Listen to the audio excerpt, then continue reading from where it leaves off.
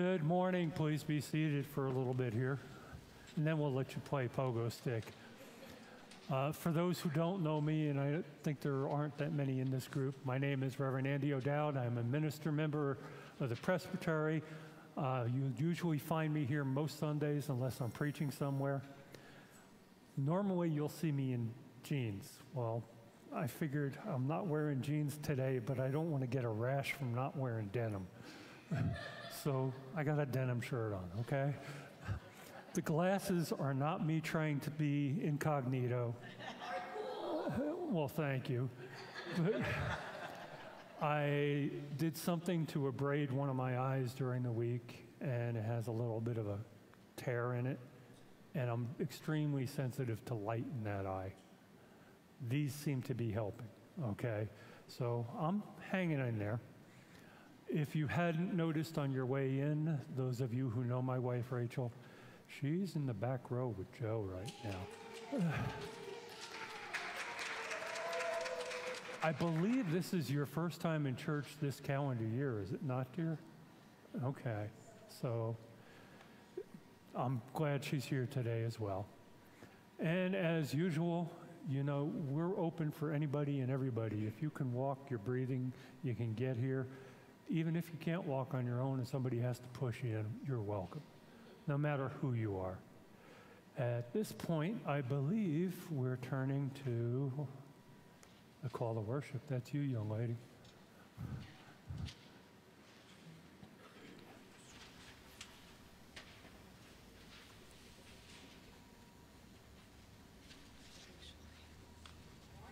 Good morning. Call the worship, which is projected. Come, let's give praise to God together. For God always keeps the promise. Let's sing songs and share joy again. For God always keeps the promise. Let's carry the Spirit into the world with trust. For God always keeps the promise. Especially when life gets too hard alone. God always keeps the promise to walk with us. And now, if you will all join us in our morning song, I have decided to follow Jesus.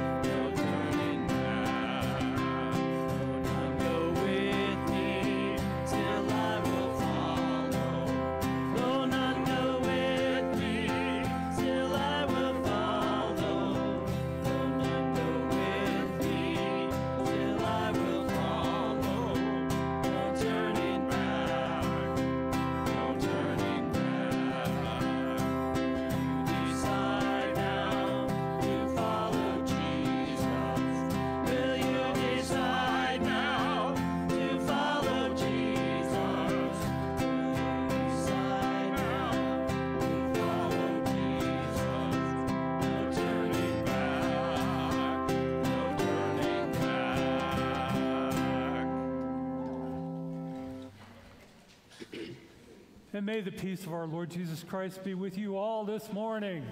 And also with you. Let's do an about face and say, pass that peace to those who are at home. And then take some time and share the peace with those that are around you this morning. I got to mute first. Yeah, let me mute first.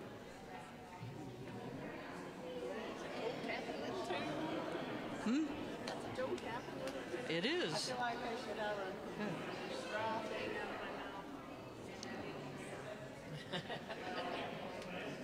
That's that's an oldie but a goodie that my mom knows. Oh, yeah. Like last Sunday, we were singing it in the car on the way here.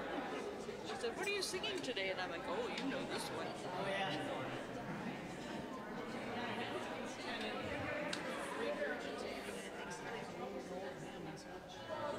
Fine with me. I like it.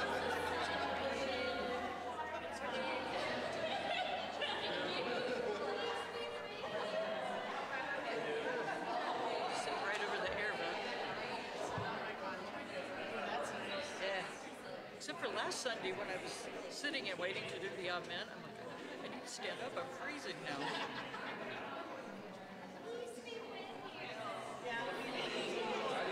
It's, it's, it's good up to a point. yeah. yeah. I know. Yeah. But oldie, oldie but a goodie. Thank you.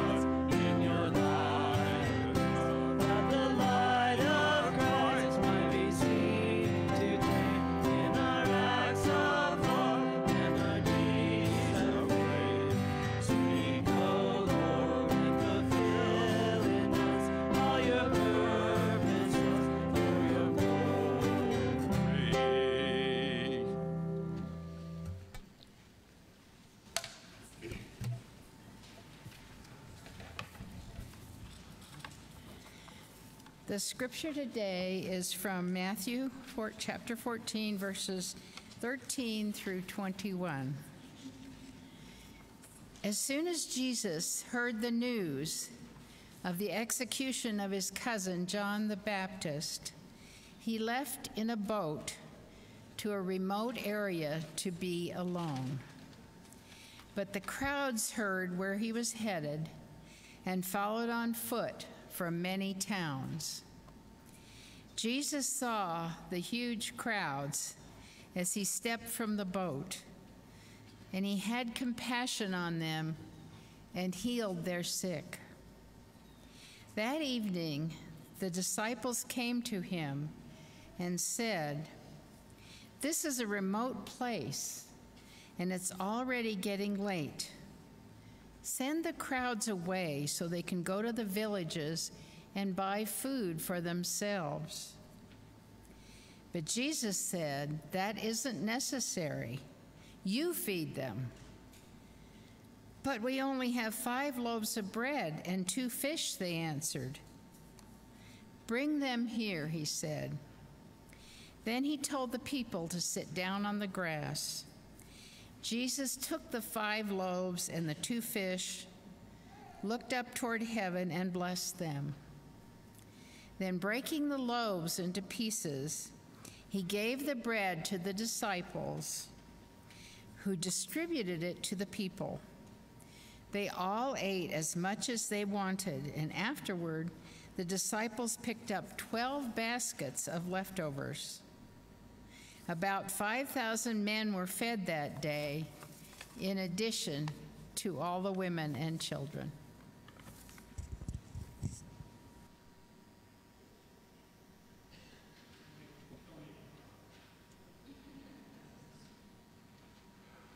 Normally, this would be the time for the gathering the young folks. Well, there are no young folks.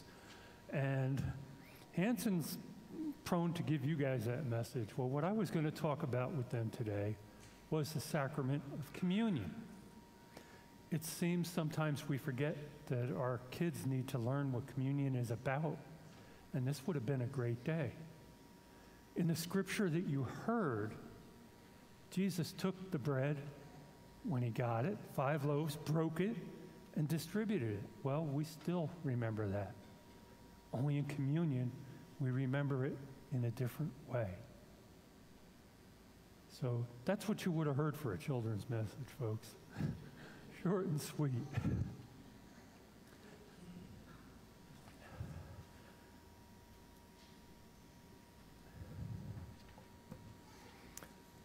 Uh, some of you may not realize, but this is absolutely one of the few stories that is in every gospel.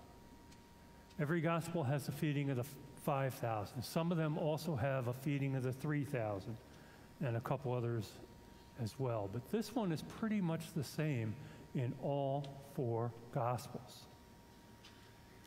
And when I get a text told that I'm going to preach, I start looking through things that I've used over the years to see one that I haven't delivered it in the same place last week or something. And two, to see if there's anything that has kind of changed along the way. He can come up this, she can come up this way if you want. Won't bother me. I'll talk louder. Seriously. I'm serious. If you want to bring her up to the front, it may help her. Yes, it will. Experience has taught me. I used to walk and preach with crying babies in my arms. And I found that the closer they are to the front, it's better for their focal point so they can see. Okay? So it wouldn't bother me either way. As I mentioned, this is one of those things that in all my years I don't think I've ever actually preached on, ever. It seemed a lot of years this was the time when Rachel and I and our family would be gone for a vacation that was also medical stuff at the same time. But we would be gone when this would come up in the lectionary. And it's just never worked out for me to be preaching it. But I think we need to really think, look at a couple of different things in this passage. For one, I don't want to focus solely on the bread and the fish, the miracle involved, because I think there's something more we need to learn. We talk about Jesus being fully God and fully human, fully divine and fully human. Part of this passage really locks in on the humanity of Christ. As Jane read it, after this time, the disciples came and told Jesus that John the Baptist had been killed. His cousin, who was about six to nine months older, maybe, if even. So, what did he do? What would we all do? What would you do if a close family member died and you just heard about it? I don't know about you, but I'd be wanting to go somewhere alone for a little bit. So, what did Jesus try to do? Go be alone for a little bit. Did it work? No. But did it upset him? No. He saw all the people around. And like scripture said, he had compassion. He pulled to the shore, taught, healed their sick, and that went on for the whole day. I think Christ's humanity shows in this particular passage much more than you see it in other things. The other time I see Christ's humanity is when he loses his temper in the temple. Uh, I mean, that's a totally human action as far as I'm concerned, too. But we have to remember that that humanity is a part of us. Now, last week, I'm pretty sure it was last week, days blur for me sometimes, but Hanson was talking about seeing things that get you so upset that you act stupidly or uninformed or whatever. I think that comes into this a bit too. Jesus never lost sight of being a teacher. And Sylvia, you're going to love this when I get into it a little bit more. Because not only did he care for them, he was teaching at the same time. And one of the things that really comes out of this scripture for me is a model for ministry. The disciples had been sent away and came back from a ministry trip with news of John. But even here, where he's teaching the people, he's also going to be teaching the disciples something. And it's a different model for ministry that I don't think we follow in churches too much. It's a model that goes not on our wealth, but it starts with our poverty. Now, last week, Hanson was talking about something that really gets you so incensed that you, you can't act rationally or think rationally about it when you hear about it. People putting barriers in the middle of the river to prevent migrants coming across or, or refugees or whatever. It, it should incense you. There should be a better way. But in this case, it was the disciples saying, Look, Lord, we need to do something. These folks got to go home. They got to eat. It's getting late in the day. They've been here all day listening to you flap your gums. So, what was his answer? You give them something to eat. We ain't got any money for that. We don't have that much money in this place. we you know, we follow you. You ain't got no money. We ain't got none. And there's no place to buy it. There's no Smiths down the street. You give them something to eat. Now, I do a lot of adult education, and this is the part where Sylvia, is going to get really involved. And within the church, you know, we have two kinds of el- elders, right? We have ruling elders and teaching elders.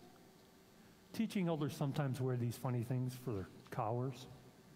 In other words, the clergy are called teaching elders.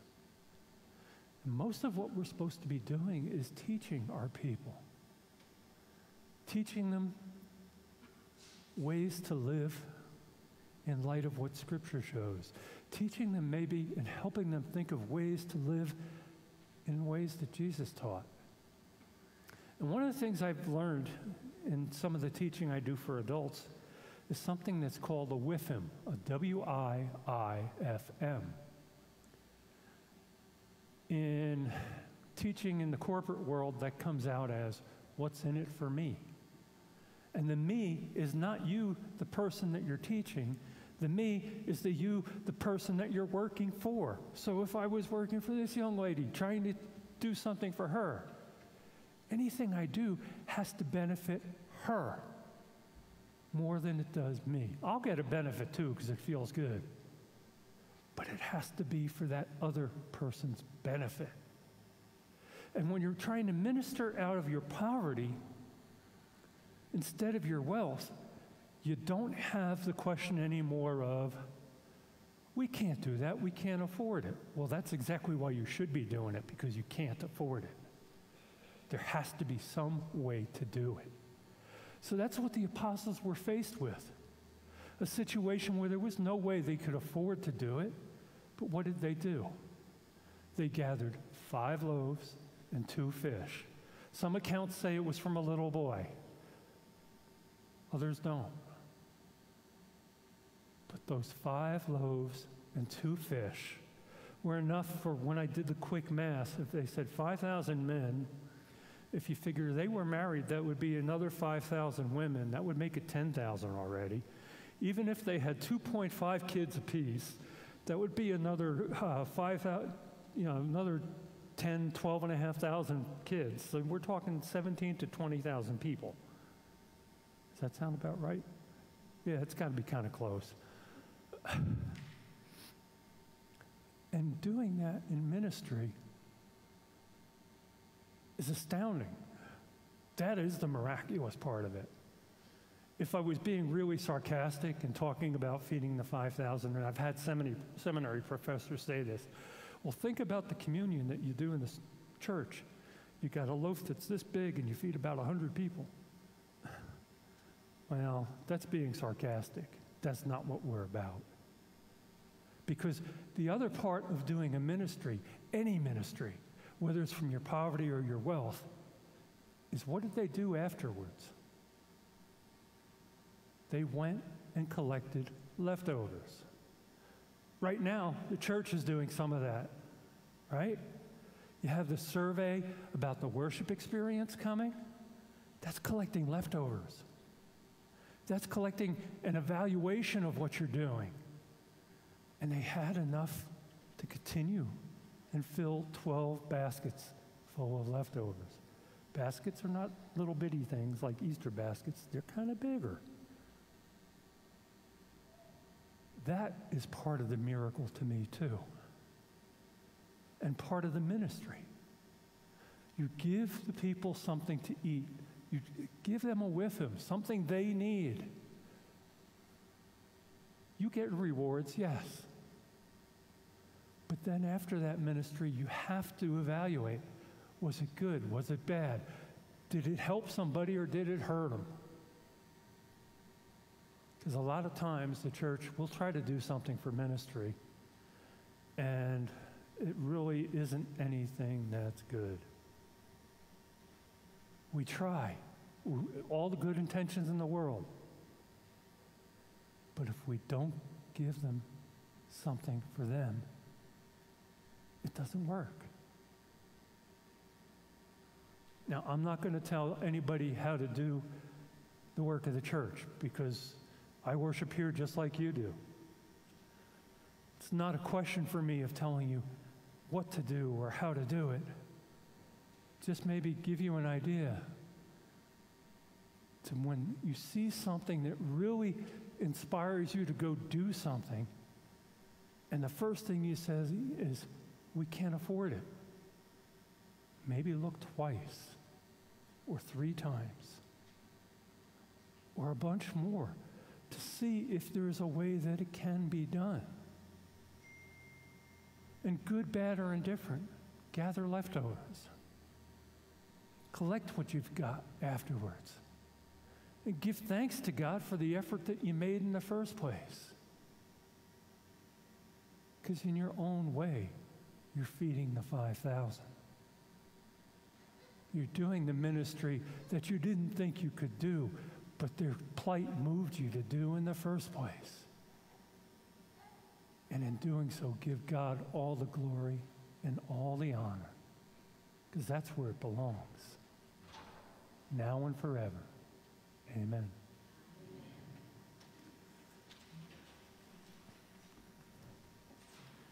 And I believe, yep, this is, we're doing a responsive song here that goes with communion. We're singing three verses before communion, and then we're going to sing another verse after communion. So I'm going to mute myself for the moment.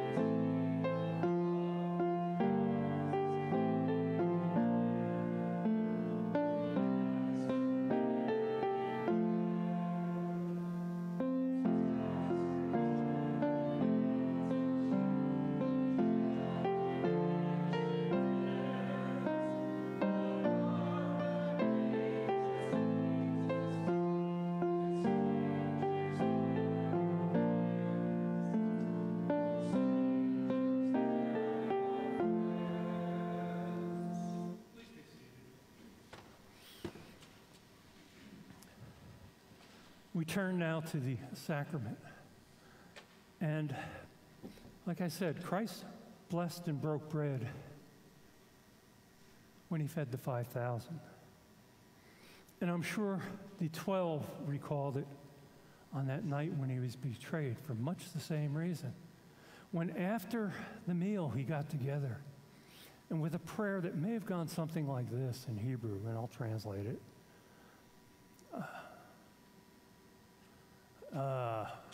Yeah, no, I won't. I, I've forgotten half of it. I've forgotten the opening. But the translation is blessed. Blessed are you, Lord God of all creation, who brings forth bread from the earth to nourish us.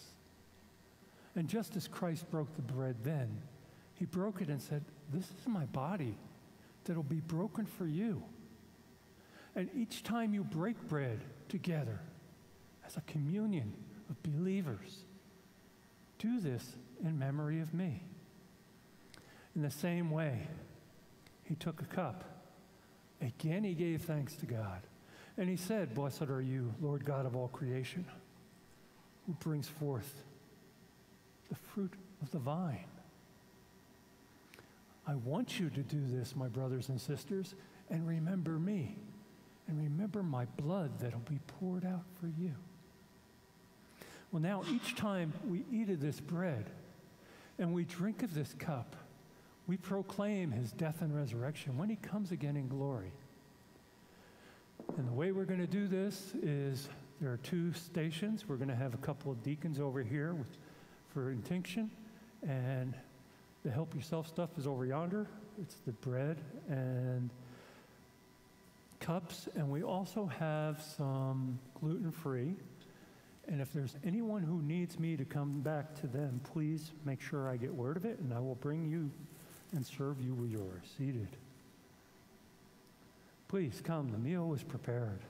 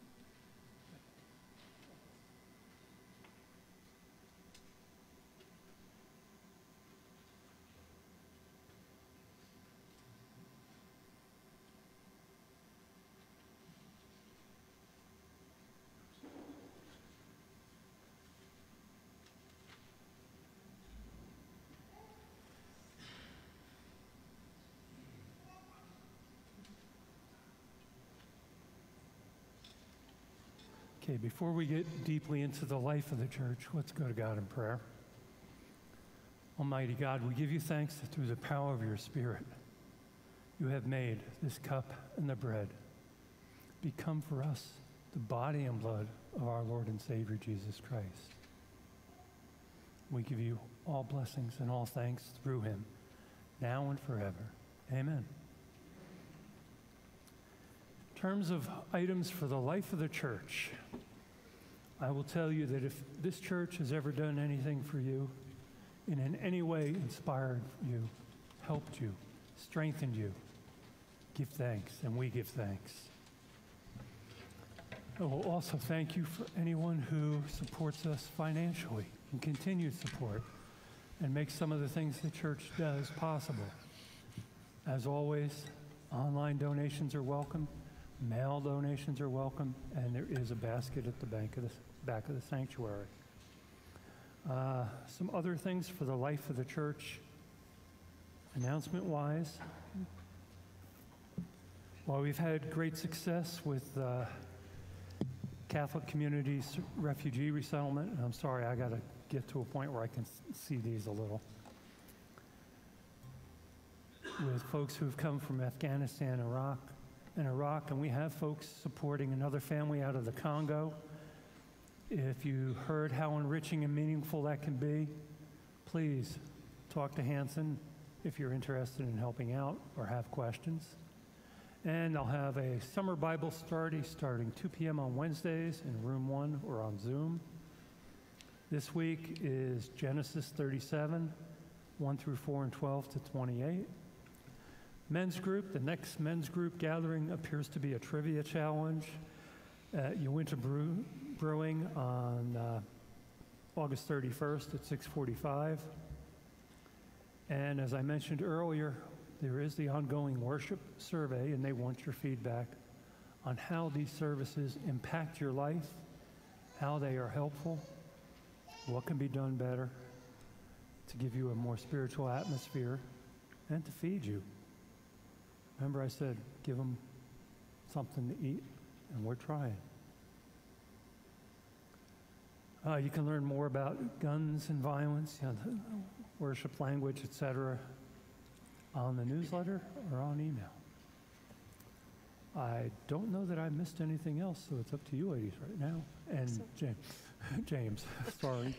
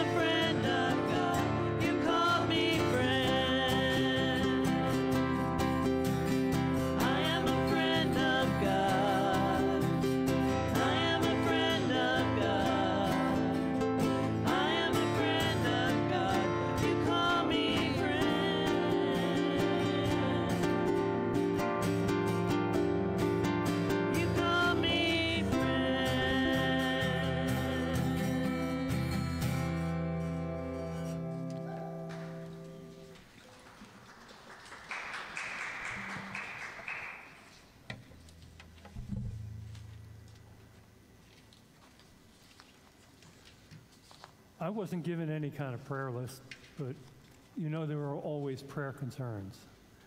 If you have one and you'd like to make it known right now, please do. And um, we can offer it up to God together as a group. Are there any prayer concerns to share this morning? Yes, Sylvia.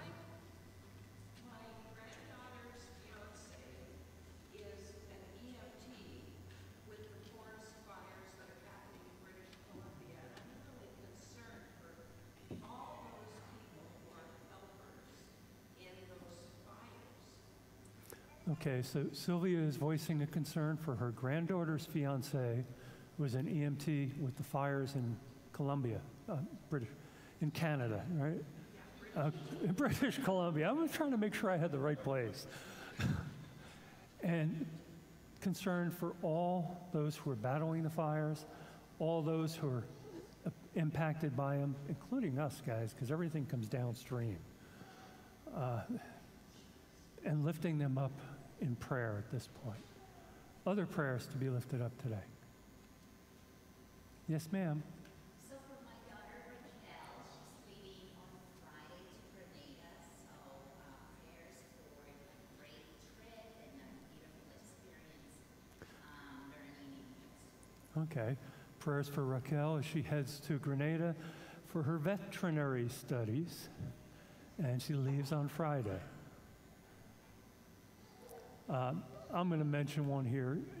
As many of you know, I work for the VA and work with veteran claims.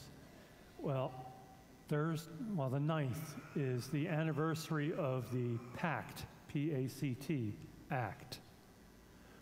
Uh, I'm going to put in a shameless plug, but I think it's probably well deserved in any event. The PACT Act, if you're not aware, it deals with all the toxic exposures veterans have been experienced ever. And it's not just one war group or battle group, it's folks, if there are any, from World War II through yesterday. It is a broad action. I kind of give thanks for that act, even though it makes me work three times harder than I want to most days. But because the things as veterans that we get exposed to are above and beyond what you would experience in day to day living. And we need to remember the veterans and this uh, as well. Others.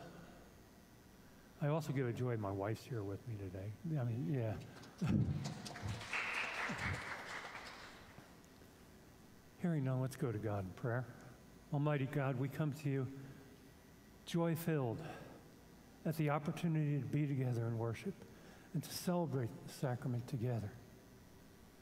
We come to you with concerns for friends, family, relatives, for Raquel as she heads to Grenada, for Sylvia's granddaughters, fiance, fighting fires in British Columbia, for all our veterans and what they've experienced.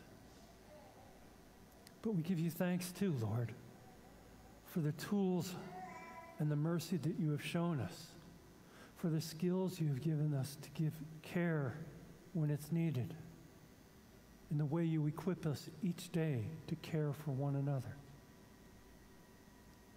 We lift up with joy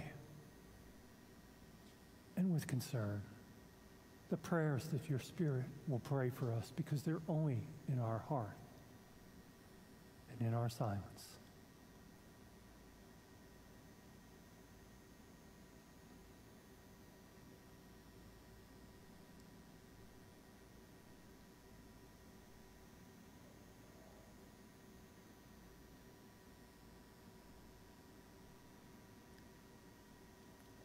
Help us each day, Lord, as we continue to seek ways to minister to those that hurt, to minister to those that need some sign of your love and your care, to minister in ways that are meaningful. Hear us, Lord, too, as we come together with the prayer that Jesus taught us, the Lord's Prayer, saying, Our Father, who art in heaven, hallowed be thy name. Thy kingdom come, Thy will be done on earth as it is in heaven. Give us this day our daily bread. Forgive us our debts as we forgive our debtors. And lead us not into temptation, but deliver us from evil. For thine is the kingdom, the power, and the glory forever. Amen. Before we join our hands or do whatever you wish as we do that charge, I'm going to give you a benediction today. May our Lord Jesus Christ, who walks on wounded feet, walk beside you every step of your life. May our Lord Jesus Christ, who serves with wounded hands, serve you all your love, life long. And may our Lord Jesus Christ, who loves with a wounded heart, be the love of your life forever. Praise God wherever you go. See the face of Christ in everyone you encounter and bring honor and glory to his name. Amen. And now, if you would stand, we're going to charge each other to go out in the world in peace. Have courage. Hold on to what is good. Return no one evil for evil. Strengthen